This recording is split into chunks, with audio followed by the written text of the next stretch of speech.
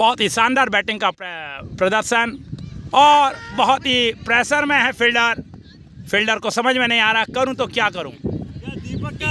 और ये देख सकते हैं हम, विक्रम भाई हमारे। हाई करो विक्रम भाई। हाय बहुत बढ़िया। संग में हमारे हिंदुस्तान से। और सुमित, बहुत बढ़िया प्रदर्शन करते हुए। बॉलर बहुत प्रेशर में है। फील्डर और ज़्यादा प्रेशर में। पिछली बार मैच हारे थे बहुत बुरी तरह से। टनकपुर में चल रहे Uchauli Goshth cricket premier league का आज समापन हो गया।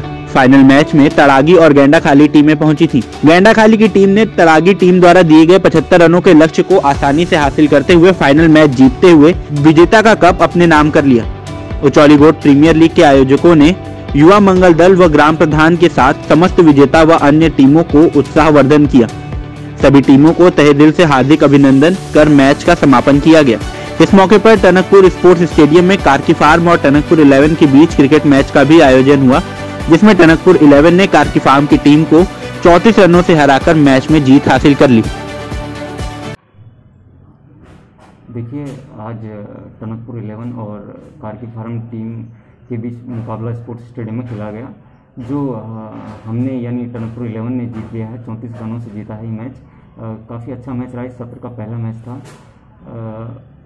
विपक्ष की टीम ने भी काफ़ी अच्छा गेम खेला।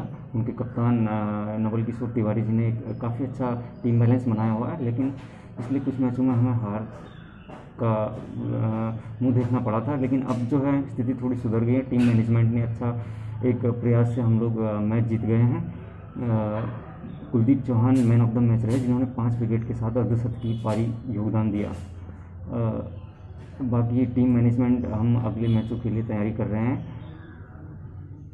जैसा कि फाइनल पूरा है, आज फाइनल समापन भी है यहाँ पर। एक अच्छा प्रयास यहाँ पे गाँव के लड़कों द्वारा, खिलाड़ियों द्वारा यहाँ पे रखा गया एक मंच खिलाड़ियों को प्रदर्शन को सुधारने के लिए।